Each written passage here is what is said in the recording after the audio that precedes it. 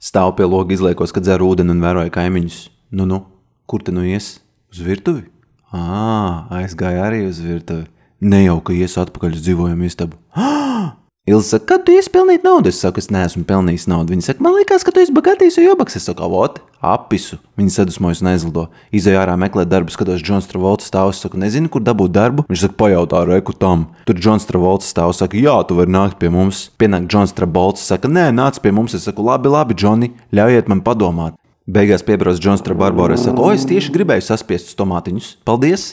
Ilza atlido atpakaļ, saka, o, tev ir tomāti, Netflix un chill pie tevis? Es saku, man nav Netflix, varam go 3 un chill. Atapāmies skatoties dokumentālās filmas par lietuviešu kuģiem.